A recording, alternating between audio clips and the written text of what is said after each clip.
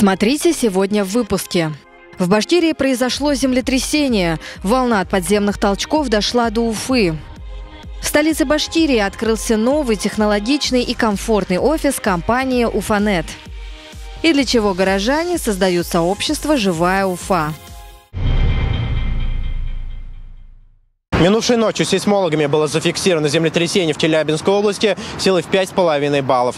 Его эпицентр находился около деревни Орловка. Она находится в 134 километрах от Уфы. По данным Управления гражданской защиты по Уфе, первое сообщение о подземных толчках поступило из Октябрьского района в 4 часа утра. Позже в службу спасения обратились жители Демского, Калининского, Кировского и Советского районов города. Горожане сообщали, что у них тряслись люстры, мебель и посуда. Однако не все уфимцы заметили подземные толчки. Я просто ну, проснулась еще раньше. Потом почувствовала что-то такое, какое-то движение – мне, мне вообще показалось, что это такое. Я не понимаю, почему. И потом так это сам, знаете, через какое-то время, это буквально было 20-30 э, секунд. Сегодня было землетрясение? Нет, не застал. Кот только что-то вел себя странно в часа в два, в три где-то неадекватности. Там на зеркало прыгал, на синс, в шкаф заразился, просинс, кричал. А так... А вы сегодня застали землетрясение в Уфе? Не, спал. То есть ничего не заметили? Нет. А что случилось? При землетрясении эксперты советуют в первую очередь не паниковать и выбрать надежное убежище. Очень быстрое, да, и буквально несколько секунд и может произойти разрушение, поэтому а, специалистами не рекомендуется а, выбегать из зданий, а лучше потратить эти драгоценные секунды на то, чтобы найти себе укромное место и переместиться туда. Можно встать в проемы да, дверей, это встать вдоль каких-то капитальных стен внутренних, отойти подальше от окон. В чем причина уфимского ночного землетрясения? И является ли Башкирия сейсмоопасным регионом? Ответы на эти вопросы знает наш собеседник, временно исполняющий обязанности директора Института геологии УФИ ЦАРАН Сергей Ковалев. Добрый день, Сергей Григорьевич. Этой ночью в Башкирии были зафиксированы подземные толчки, то есть землетрясения. В чем причина такой активности? Вероятной причиной, э, скорее всего, является деятельность человека. То есть это, вероятнее всего, э, техногенное землетрясение, э, потому что Полезные ископаемые на территории Южного Урала разрабатываются уже более ста лет. Это и нефть, и медь, и цинк. И в связи с этим вот такие явления, они возможны на территории республики, да и на территории всего Южного Урала. Эпицентр землетрясения был зафиксирован в Челябинской области. Является ли Челябинская область э, опасным регионом в плане сейсмической активности? Дело в том, что э, вот геология, сейсмическая активность, которая является э, некой, некой дисциплиной геофизики, она не имеет административных границ. Понимаете, Челябинская область, Республика Башкортостан для геологии и для сейсмических явлений это не принципиально и не важно. Э, вот регион Южный Урал или регион Урал – это да. То, что происходит в Челябинской области, обязательно будет отражаться на территории территории республики. То, что происходит на территории республики, будет отражаться в Челябинской области, в Оренбургской области. Все зависит от масштабности того события, которое происходит. Но административные границы здесь роли не играют. А является ли наша республика сейсмоопасным регионом? Сейсмоопасным э, регионом с точки зрения вот э, какой-то классификации, вероятнее всего, нет. Но регионом, в котором возможны сейсмические явления, да, скорее всего, является. А есть ли вероятность, что подобное землетрясение может повториться в Башкирии? Нет аппаратуры, которая бы предсказывала землетрясение. Уфа, да, и большая часть территории республики э, расположена на э, пермских породах. А пермские породы – это карст, который вот это известняки, это ангидриты, гипсы. И вот э, формирование внутри коры вот этих полостей, оно тоже несет некую вот такую э, угрозу. По той простой причине, что, ну, скажем, вот э, среда довольно сложная, и где-то какая-то небольшая подвижка может привести э, к значимому явлению. Я не хочу сказать, что это э, будет какое-то серьезное событие, но вот такие вот э, небольшие землетрясения вероятны. Спасибо за интервью, Сергей Григорьевич. На наши вопросы ответил временно исполняющий обязанности директор Института геологии УФИЦРАН Сергей Ковалев. Город Уфа должен быть лучше. Менять вместе город к лучшему. В башкирской столице активисты создают сообщество «Живая Уфа». Первый шаг – это форум с таким же названием, чтобы познакомиться, определить вектор развития, обменяться опытом с экспертами из Москвы, Самары и Ижевска, а возможно и поспорить, как оживить Уфу. Все города живые. Мертвых городов в России, кажется, нет. Ну, знаете, мертвый город – это город, где нет людей. Проект «Живые города» появился в 2013 году в Ижевске, когда активисты решили вместе развивать город. Сегодня это национальная инициатива, к которой присоединились более 80 городов, а теперь и Уфа. Степень живости определяется тем, насколько вот эта вот человеческая энергия созидания может в городе проявляться в реальных делах. Это не только ну, какие-то активистские акции, там, поможем животным или, я не знаю, благоустроим парк, а это э, большие серьезные вещи про городскую стратегию, про управление территорией. Когда мы подходим к этому не формально с точки зрения, не знаю, бюрократии, э, каких-то нормативных актов и так далее, когда мы подходим к этому как горожане, имеющие право на эту территорию. Взять ответственность за историю своего города в 2015 году решили жители Самары.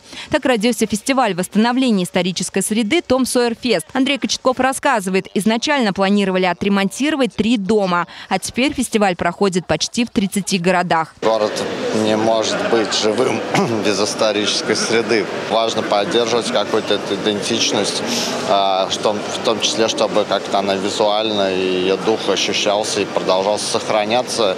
Иначе происходит процесс обнуления постоянного а, в городах, и это на них сказывается не очень хорошо. Общая проблема городов – это апатия жителей, считает Андрей Кочетков. Такого же мнения и общественник Кристина Абрамичева. Вместе с тем э, есть э, такая компания сильных уже профессиональных, интересных кураторов, которые готовы создавать э, такие многолюдные, многотысячные городские мероприятия, поддержку чего-то, как недавно был фестиваль да, в защиту горы Таратау, вне идеологические, семейные, ну есть разных-разных форматов.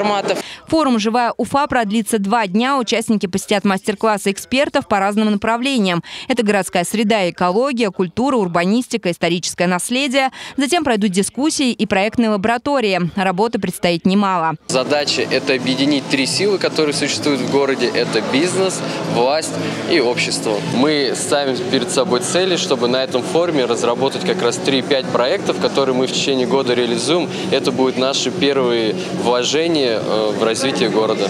По итогам форума будет разработана хартия, куда войдут предложения активистов по развитию города. А присоединиться к сообществу «Живая Уфа» может любой желающий. Алина Гребешкова, городской телеканал ЮТВ.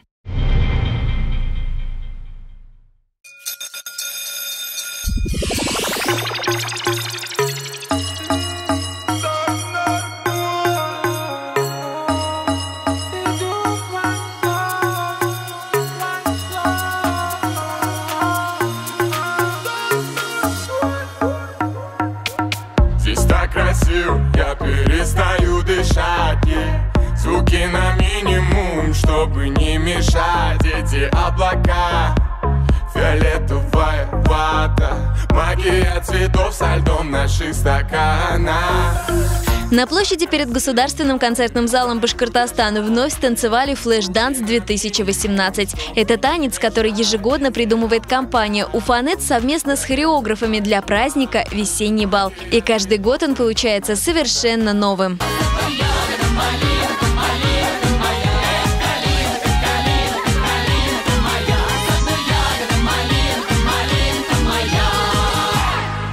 В этом году он включал как элементы современных танцев и композиций молодежных исполнителей, так и народные мотивы. Выпускники признаются, его хочется танцевать вновь и вновь. Мы решили вспомнить те эмоции, которые у нас были на выпускном бале, на последнем звонке потому что это незабываемые эмоции. Я выпускаюсь только в следующем году, но я ходила на все репетиции в прошло, прошлые года.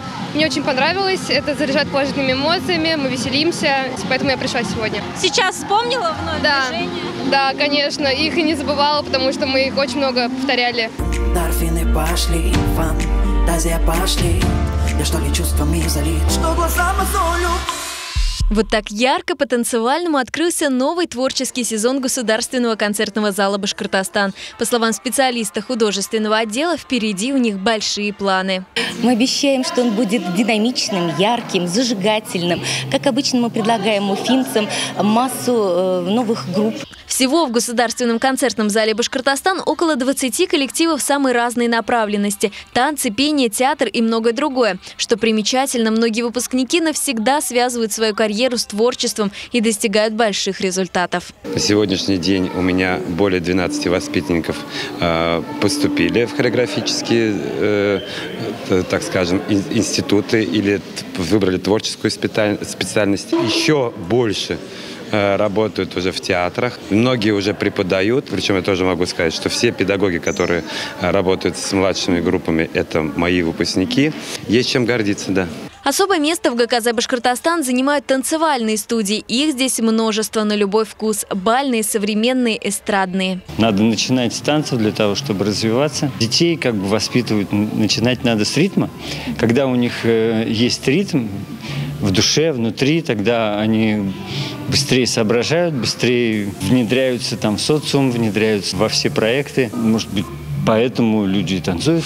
И, кстати, по словам руководителя студии «Школа бальных танцев» Сулеймановой Альбины Азатовны, начать танцевать можно абсолютно в любом возрасте. Для этого в ГКЗ Башкортостан уже больше 20 лет существует школа танцев для взрослых, куда они приходят в любом возрасте, в любом состоянии а, нулевого танцевания или кто-то, может быть, какой-то танцевальный опыт имел. И э, есть еще очень классная группа, которая называется «16+,» когда, может быть, не отданные дети танцевать ближе к выпускным классам, они понимают, что для джентльменского набора танец также необходим для души, для тела. Им это а, умение танцевать общедоступные формы э, становится необходимым как воздух. День открытых дверей в Государственном концертном зале «Башкортостан» завершился мастер-классами от преподавателей, а все желающие смогли записаться в понравившуюся им студию.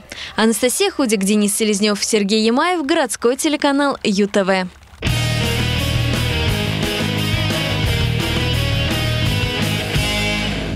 Здраво! Меня зовут Мирка Здравич. Роботы уже среди нас. По данным американской исследовательской компании Market Markets, мировой рынок технологий искусственного интеллекта военного назначения в 2017 году превысил 6 миллиардов долларов, а к 2025 году вырастет втрое. Однако не всем по душе такие перспективы. Недавно в Женеве прошли переговоры на площадке конвенции по негуманному оружию. Однако сторонники запрета роботов потерпели там поражение. Им не удалось добиться мандата ООН на создание международного договора в этой сфере. Поцелуй мой блестящий зад. Из 88 участников переговоров за полный запрет боевых роботов выступили только 26 стран. А вот, например, Япония, США и Россия очень даже за.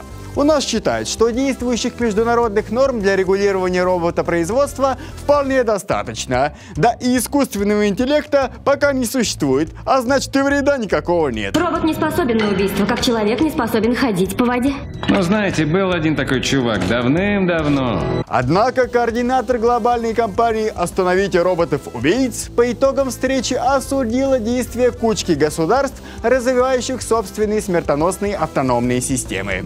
Вот осенью прошлого года, например, уже состоялась битва гигантских боевых роботов из США и Японии. Последние так вообще постоянно штампуют каких-нибудь роботов. Необычный какой-то, супер продвинутый робот, точно японский. То создадут робота-атлета, который дает живым спортсменам 100 очков вперед, то робота с живыми мышцами. А на выставке в Токио в прошлом году девушку-андроида поместили за стекло рядом с живыми людьми. И, честно говоря, распознать не робота было довольно сложно. Imaginación está jugando contigo. О, боже! О, ты робот! Угадал, Шерлок Холмс. Американская компания Boston Dynamics вот уже который год удивляет пользователей сети своими сверхмобильными творениями. Но и Россия не отстает. Помимо полюбившегося всем робота Федора, России есть что показать. А у вас случайно роботов полицейских нет? как в Робокопе. И такой у нас имеется. Совсем недавно концерн Калашников представил концепт нового боевого робота, которого в народе прозвали Игорек. Конечно, сейчас от бойца в Игорьке всего маловато. Хотя пользователи сети настроены скептически и говорят, мол, опять подсунули картонный муляж. Дурилка картонная. Обмануть хотел. Но создатели говорят, Игорек еще маленький и концептуальный. А вот навесить на него пулеметов, так он даст всем прикурить. А даже если нет, так оно ведь тоже хорошо. Значит, войну машин можно немного отложить. До скорых встреч! Выпрямитесь, голову повыше. Вдохните, на месте.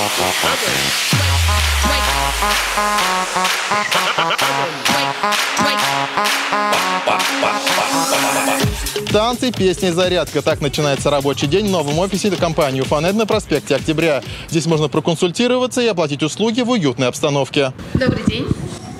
А, Я хочу рассказать вам про наш новый офис. А, Первое, что вы увидите, когда вы заходите в наш офис, это наш администратор. Сразу же расскажет про наш офис и подскажет, кому вам обратиться. Новый офис большой и просторный, поэтому он делится на несколько зон. Самая основная из них для обслуживания клиентов. Здесь менеджеры компании «Уфанет» принимают платежи, заключают договоры и консультируют. В офисе есть и зона самообслуживания, где установлен терминал. Тут можно легко и просто оплатить интернет, телевидение и телефонию. В принципе, даже не нужно знать договор.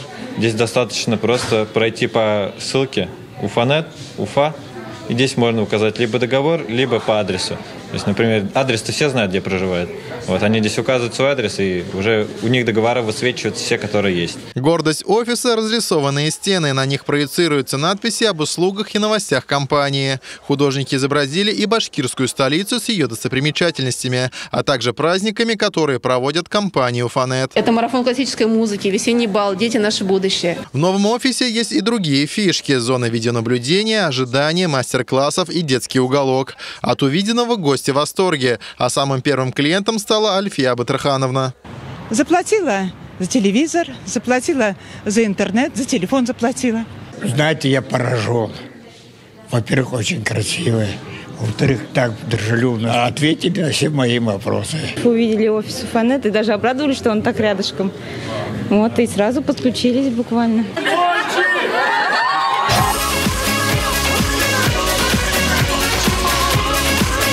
Порадовался новому дому и кот по кличке Пончик. Его сотрудники компании по традиции первым запустили в офис. Новый дом у меня очень уютный. Я не скажу, конечно, что в старом было плохо, но новый это просто нечто. Это новые эмоции, просто мега, это очень круто. Мне очень нравится. Наш новый офис находится на проспекте Октября 4 дробь 3. Открыт он ежедневно с 8.30 до 8 вечера. Пожалуйста, ждем всех в гости. Приходите. Рустем Нурешев, Ильдар Каюмов, городской телеканал ЮТВ. Утро 5 сентября для многих уфимских водителей не задалось. Отключение светофора на пересечении улиц 50 лет СССР и проспекта Октября спровоцировало дорожный коллапс. Оно и понятно. При таком количестве автомобилей и нежелании многих хоть как-то уступить другому приводит именно к таким последствиям. Да и как тут уступить? Пропустишь одного и можно забыть даже о малейшем шансе выбраться из этого кошмара. А рано или поздно автомобили встают клином. И только сотрудники ДПС способны исправить положение. Но лишь спустя час. Много это или мало? Например, на пересечении улиц Мингажева и 8 марта даже при наличии работающего светофора проблем избежать не удается. И опять же, не все так просто. Из-за близкого расположения двух перекрестков многие водители, не видя светофора над головой, ориентируются по тому, что регулирует как раз-таки другой перекресток из-за чего попадают в такие нелепые ситуации. Нелепой она становится еще и потому, что водители не видят друг друга буквально под носом. Но назревает еще один вполне логичный вопрос. Этот участок дороги уже не первый раз в наших обзорах с подобными авариями. Может, пора соответствующим органам помочь нашим водителям? Берегите себя и своих близких. Удачи на дорогах!